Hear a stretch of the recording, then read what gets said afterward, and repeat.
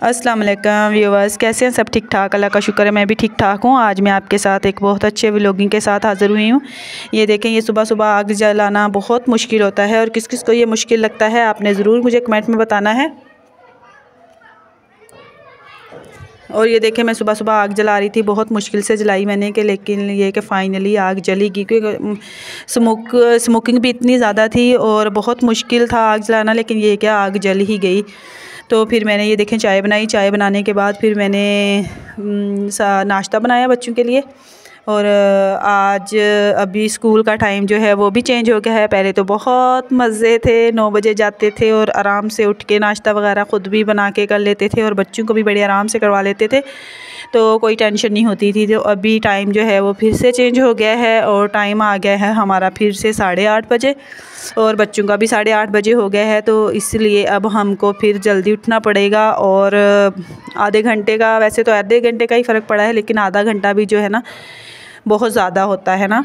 तो एक एक मिनट जो है वो हमारे लिए बहुत कीमती होता है सुबह के टाइम, सुबह के टाइम क्योंकि बच्चे भी माशाल्लाह से उनको भी तैयार वगैरह करना ये कि बच्चे बड़े हैं, वो खुद ही तैयार हो जाते हैं, लेकिन क्या क्या उनका नाश्ता वगैरह बनाना होता है तो फिर मुझे भी ख़ुद को तैयार होके और घर का सारा काम करके, सफ़ाई वगैरह करके, बिस्तर वगैरह सब उठा के फिर जाना होता है ये। तो वैसे तो ये कि बड़ी बेटी जो है मेरी काफ़ी मेरे साथ मदद करवाती हैं, लेकिन फिर भी जो मेरे काम करने वाला वो मैं करती हूँ, जो उसके करने वाला वो करती है, फिर हम जल्दी से तैयार होकर फिर स्कूल जाते हैं और फिर हम जब स्कूल ये नाश्ता वगैरह करके सब बच्चे चले गए थे स्कूल और हम भी जा रहे थे स्कूल। ये मैं थोड़ा सा आपको नज़ारा दिखा रही हूँ। इतनी स्मोकिंग हुई हुई थी आज ना।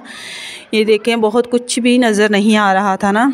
और जब हम घर से निकले थे तो ऐसे था कि घर की साइड में कम थी और जब हम आगे गए ना तो आगे इस तरह से कि ज़्यादा थी ना।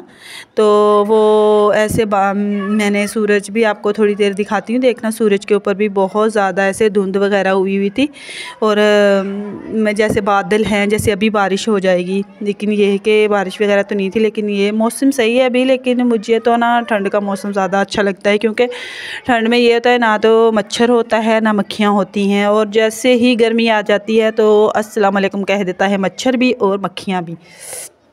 तो बहुत मसला हो जाता है ना फिर। तो इसीलिए ये कि ठंड का भी, ठंड में भी मसला होता है लेकिन ठंड में ये कि ऐसा वो ना मच्छर वगैरह नहीं होते तो फिर सही होता है। तो ये मैं अभी जा रही थी स्कूल में, ये देखो आपको थोड़ा सा नज़ारा दिखा रही हूँ। जब हम बाहर निकलते हैं तो बहुत अच्छा लगता है, वो सुबह सुबह के टाइम बहुत अच्छी फ़सलें भी होती हैं और हरियाली भी बहुत अच्छी होती है। और आपने मुझे कमेंट बॉक्स में ज़रूर बताना है कि आपको मेरे व्लॉग कैसे लगते हैं और चैनल पे न्यू हैं तो चैनल को लाइक और सब्सक्राइब कर दें, प्लीज़।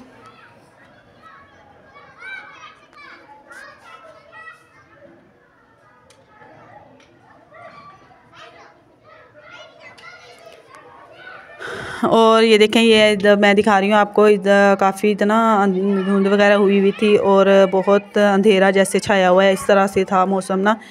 तो लेकिन क्या करें, स्कूल तो फिर भी जाना ही था हमको ना। तो फिर हम आ गए थे स्कूल। जैसे ही घर स्कूल में पहुँचे तो फिर, ये देखें, ये मैं थोड़ा आपको मंज़र दिखा रही हूँ। मैंने ना अपने हस्बैंड को बोला है कि ना, अपना बाइक थोड़ी आहिस्ता करो तो मैं यहाँ से थोड़ी सी वीडियो वगैरह बना लूँ। तो ये जो व्लॉग है, मैं इसकी जो वॉइस है, वो स्कूल में डाल रही हूँ और अभी हुई थी ब्रेक और मैं वॉइस डाल रही थी तो अभी हमारी बेल भी लग गई है कि ब्रेक बंद कर दो।